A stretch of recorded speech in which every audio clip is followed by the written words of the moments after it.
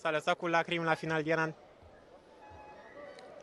Nu neapărat cu lacrimi, cât cu, o, cu siguranță cu o dezamăgire.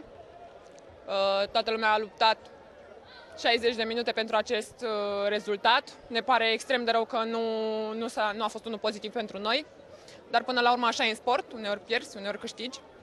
Uh, Vreau să le mulțumesc frumos tuturor, tuturor persoanelor care au fost în sală și care s-au uitat la meci de acasă.